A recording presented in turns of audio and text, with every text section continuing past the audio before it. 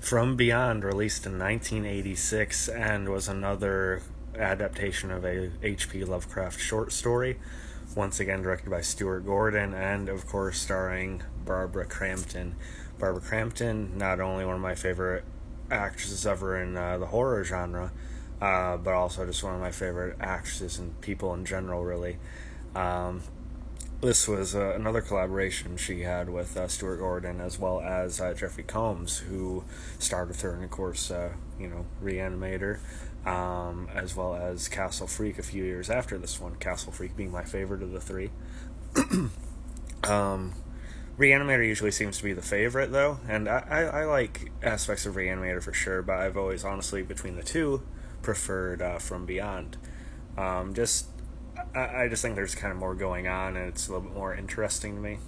And as well as the fact that Barbara Crampton's character here, she actually gets a little bit more to do. In Reanimator, she sort of has more of a cliche, you know, particular function type of character that hasn't aged all that well.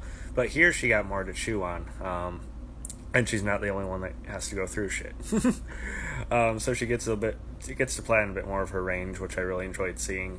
Um, and, again, just the concept, sort of this like inter, I don't know if it, interdimensional is the word for it, but like this other uh, side to reality that Jeffrey Combs' character discovers in this one, and just the uh, sort of the mesh of like a Hellraiser as well as like a you know not not alien but like sci-fi blend, a little bit more heavier on that end. I think actually works pretty well. Um, you also have Ken Foree in here, who is known for like uh, you know Dawn of the Dead. He was even uh, Bear Grizzly and Rob Zombie's Halloween remake for something a little bit more recent. Um, he's a cop here who ends up uh, escorting them back to uh, you know where where these things have happened. Um, and uh, the best comparison I can make about both this and Reanimator, but especially this, is you know these movies aren't for everyone, but for me, uh, especially this one, it feels like uh, you know when you're a kid and you kind of sneak out into the living room late at night, turn on the TV, it's static, but then like a just gross out, you know, over the top horror movie comes on. That's the same kind of vibe I get from this one.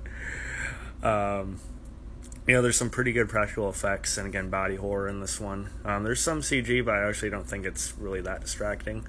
Um, but yeah, you know, it, it is gross out. It is meant to be like overtly, you know, sexual and erotic at points, but it does give the characters a little more to go on in this one. I do think the ending is pretty cool.